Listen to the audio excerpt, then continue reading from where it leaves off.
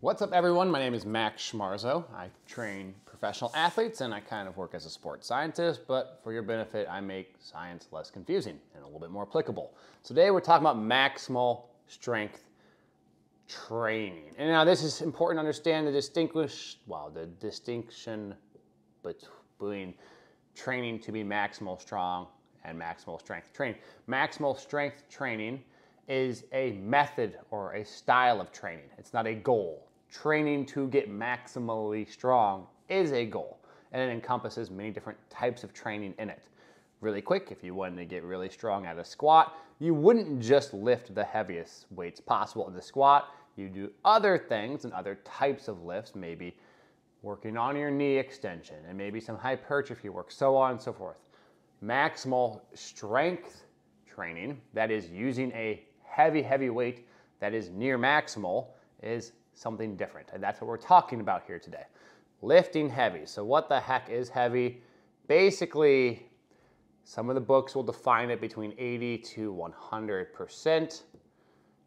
I kind of like to think about it on an RPE scale, which is a relative perceived exertion, which is like, hey man, how hard is that scale? Like, is that really heavy for you? Is it difficult? Is it not? Um, and if it's like in the, I don't know, 8.5 and above realm, then it's probably maximal strength. But why does it have any benefits? Um, so first and foremost, when you're lifting something really heavy, like my friend here, or he's lifting something really heavy, you have exertion. And exertion in the sense that you have to focus with your own mental volition to try and lift this thing really heavy. And when you do this, there's only one option and that is to lift the darn thing. And that's really important to understand because you have to try your hardest, one option, to um, lift the heavy, heavy weight. The one option is try really, really hard. Now, if this weight was lighter and it wasn't this heavy, right, there's multiple options. You could lift it kind of slow, you could lift it, you know, uh, moderately fast. There's a high level of speed or effort variability that comes with lighter weights, right? So if you go and sprint as fast as you possibly can, you can only sprint as fast as you possibly can by trying as hard as you possibly can. But if you were to lift, I don't know, let's pretend you could squat 500 pounds, good for you, you're super strong, and you put 100 pounds on the bar, well, you could move that really slow, you could move it really fast. The point is there's a large amount of mm, uh, effort variability, variability and effort. All right? What happens is when we lift a really heavy weight, we don't have the luxury to have variability in effort. We just have to lift it as hard as we possibly can. So what does that do? Good question. So now we've distinguished between uh, just, you know, lifting a weight and lifting something that is near maximal strength. There are some things that come with it. So the key thing here, and this is why some people debate whether or not some of the achievements of maximal strength training can be achieved with lighter weights. I'm not here to bring up that and siphon out or sift through that debate, but simply the question is, is this really just based on effort or does the actual load and magnitude of the weight evoke something else? But we'll get to that at the end, so I'll write a little note here. Effort versus mass, right? The sheer weight on the bar. So when I lift a really heavy weight, here's some of the benefits. My central nervous system, that is your brain, we're gonna make my lifter guy again, has to tell your muscles, hey, try really hard. So it's gonna have a high level of motor unit, that's what MU stands for, recruitment. Recruit. It's gonna have a high level of motor unit discharge rate or coding rates, motor unit coding rate, and that's the speed at which these muscles are activated. By the way, a motor unit, for those at home don't know, you have your muscle fibers and they're innervated by a neuron, and that grouping of the neuron and the muscle fibers, that is the motor neuron and the muscle fibers, that's a motor unit. And you have many different motor units inside of one muscle of your leg, like your arm, might have many different motor units inside the biceps area. And so when we lift really heavy, we try and recruit all those because we're trying really hard to lift that big heavy weight. So that's really important. activates all the fibers. It also activates the speed of it. And then, and when we're trying hard, there is this mythical, magical area, uh, an area that we have really trouble describing in science, and that is the central nervous system. Does it learn to try hard, right? Does it learn to try hard? And in doing so, when you don't lift such a heavy weight and you go to do other try hard things, like I'm gonna jump as high as, as I can, and maybe there's some carryover from these discharge rates because you now know how to activate those fibers. And that's the big debate about is it effort or weight, right? Is it an effort thing where if I try really hard, can I, you know, am I getting benefits obviously from lifting the weight? Sure, you have myofibral breakdown, right? You have the muscles themselves are being exercised, they're being torn down, they're being activated.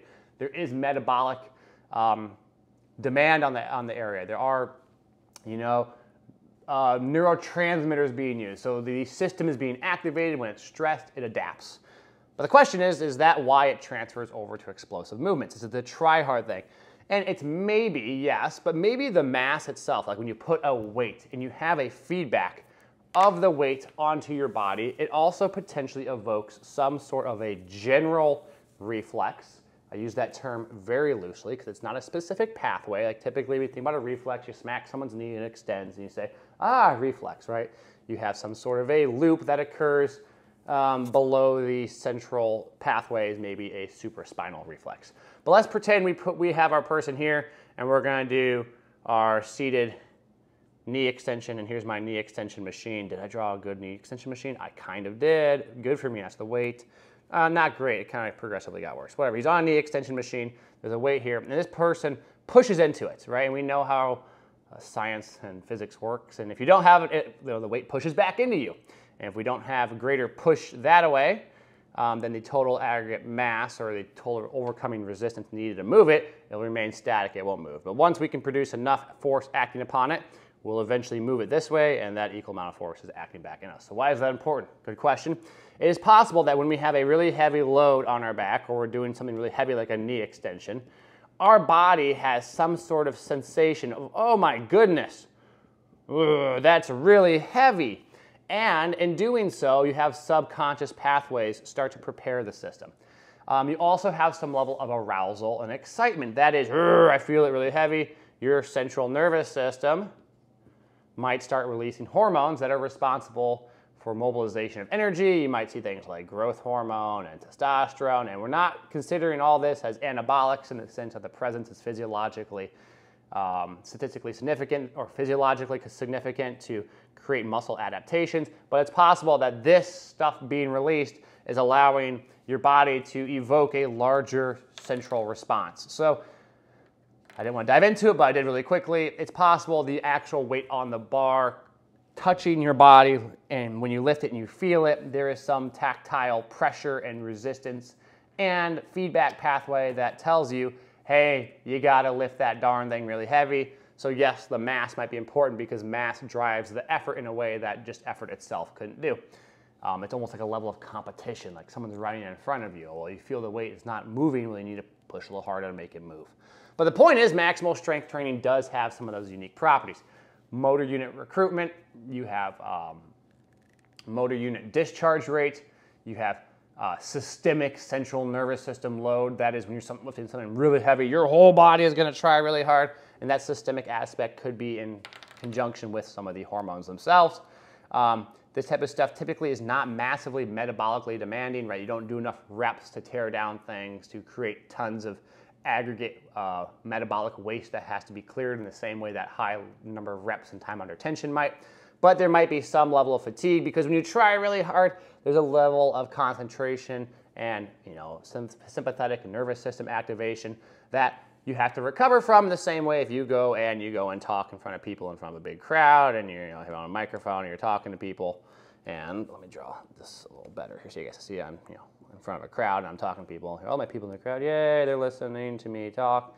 And I'm giving my master's defense, right? I'm talking blah, blah, blah. And after an hour of it or so, I get tired. And that night, I'm really sluggish and lethargic and sleepy because this whole time, my sympathetic nervous system, which maybe I'll make another video on later, was activated this whole time. Even though I didn't exert any physical effort, I'm still really pooped out the same way my central nervous system might be pooped out because of the high level sympathetic nervous system activation when I lift something really heavy. Maximal strength training, a good thing. Some of the ranges you can take away from 80 to 100% is what the books typically say. I'm like, hey man, if it's pretty heavy and it's making you work pretty hard, it's probably near that maximal strength training. I like to think of it in things that you can lift one to two, maybe, maybe three times, more like one to two. Um, you can't do tons of reps at it and it requires a lot of focus and effort. It has a lot of benefit because of the high effort and demand, but also its benefits are its negatives, and that high effort and demand does require some recovery. So maximal strength training made simple for all you friends out there who like sports science and like learning. If you made it this far, please feel free to like, subscribe, and share this page. I appreciate you guys always. Leave questions if you have them, and thank you.